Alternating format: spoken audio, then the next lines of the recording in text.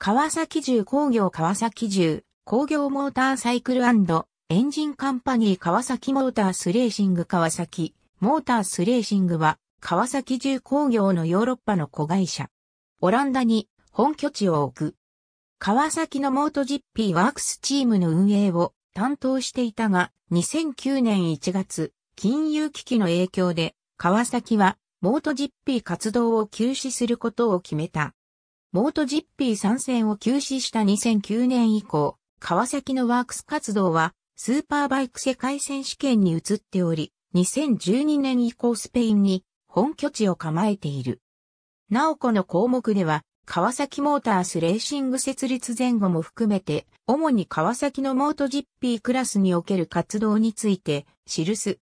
2005年型 ZXRR 川崎は2002年シーズンの終盤から忍者 ZXRR を買って、モートジッピークラスに参戦を開始した。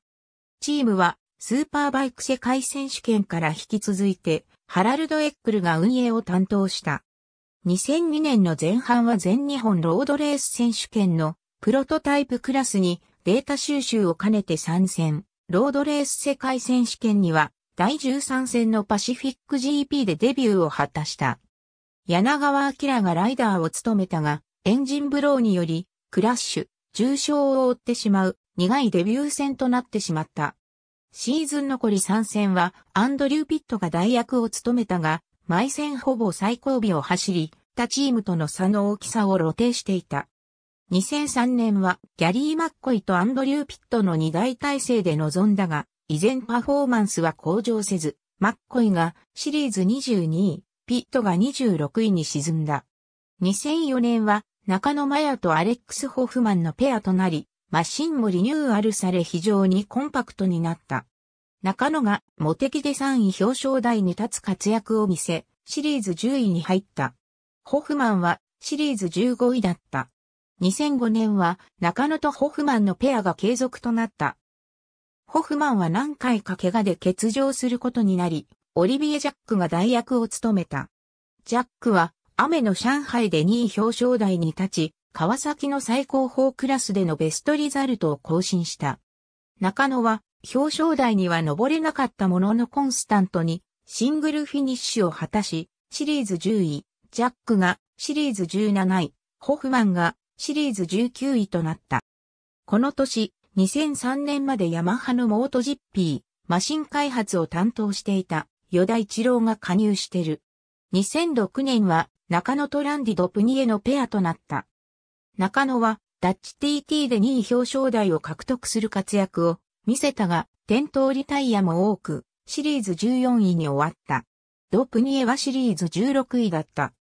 2006年のシーズン終了後、ハラルド・エックルが他チームと深く関わりを持ち、技術情報をリークした疑いが持ち上がったため、川崎はエックルとの契約を急遽打ち切った。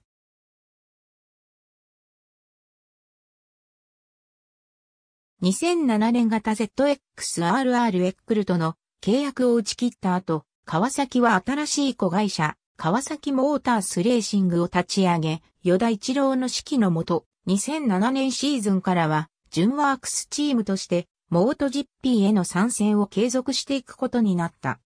レギュレーションの変更により、排気量が 800cc に縮小された ZXRR を買ったのは当初ドプニエとジャックのペアだったが、ジャックは転倒による怪我などを理由にシーズン途中で現役を引退する。代わってアンソニー・ウエストが後半戦のライダーを務めた。ドプニエは転倒が多かったものの完走したレースのほとんどはシングルフィニッシュであり、日本 GP では2位表彰台を獲得。フランス GP では転倒に終わったものの雨の中首位を単独走行するなどの活躍を見せ、シリーズ11位に入った。ウエストはシーズン途中からの参戦ながら安定した成績を収め、参戦したレースすべてを完走。最終戦以外はすべてポイントを獲得し、シリーズ15位に入った。翌2008年は、ドプニエに代わり前年度シリーズ4位のジョン・ホープキンスが、鈴木より移籍し、また新たに栄養ドリンクのモンスターエナジーをスポンサーに獲得し、初優勝が期待された。しかしホープキンスは開幕前テストでの転倒、負傷によりテスト不足、シーズン前半は転倒による怪我で3つのレースを欠場。その上3度のメカニカルトラブルもあって成績は低迷。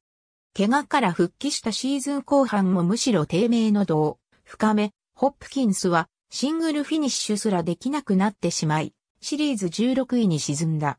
一方のウエストも、ホップキンス中心に開発されたマシンに全く馴染めず、再開走行を強いられることが多かった。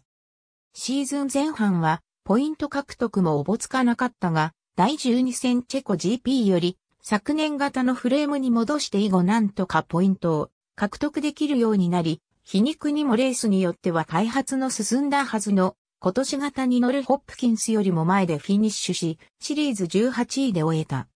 2009年型 ZXRR を狩るメランドリ大きく低迷した2008年の成績を受け、2009年には車体、エンジンともに刷新されることとなった。ライダーもドゥカティよりマルコ・メランドリを迎え、2年目のホプキンスと合わせて強力なラインアップとなるはずであった。